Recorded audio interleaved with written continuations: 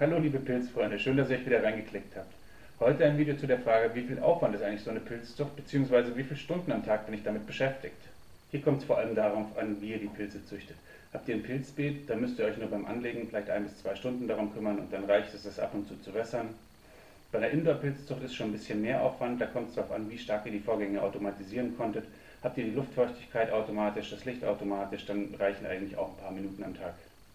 Ab und zu muss man natürlich ein bisschen mehr Zeit investieren, wenn man neues Substrat herstellt oder eine Kultur überträgt. Ansonsten sind es eigentlich ein paar Minuten am Tag, in denen man sich darum kümmert, dass die Luftfeuchtigkeit stimmt und dass es den Pilzen gut geht.